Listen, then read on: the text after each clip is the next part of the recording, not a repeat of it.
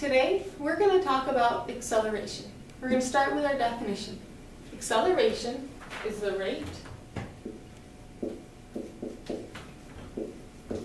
at which an object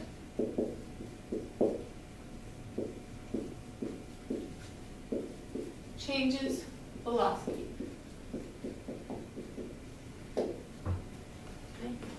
We have one more triangle we're going to use for this unit.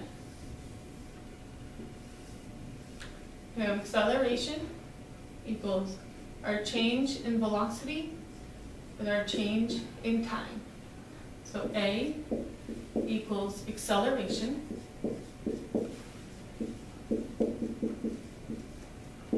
Our units for acceleration are usually going to be meters per second squared.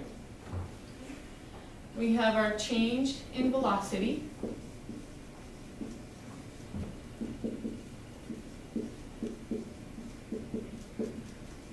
Remember to find our change in velocity, you're going to take your ending minus your starting, which will give you your total velocity. Then we have our change in time.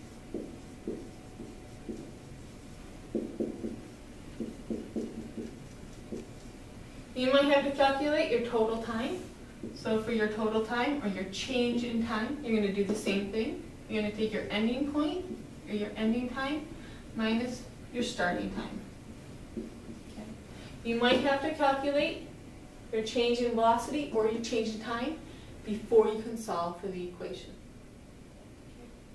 We're going to do an example.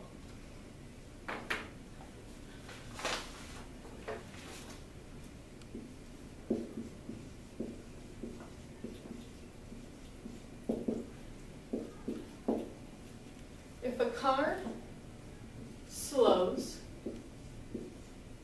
from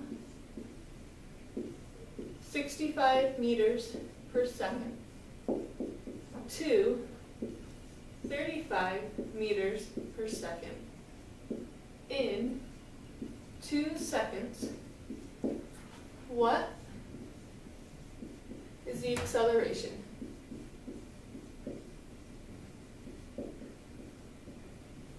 First, we're going to underline what we know.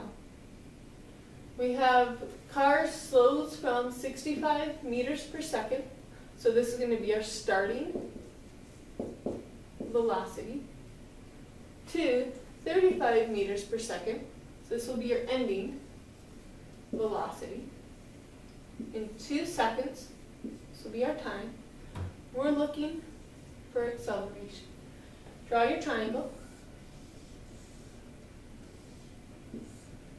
Acceleration, change in velocity, or change in time. Well, we know we're looking for acceleration.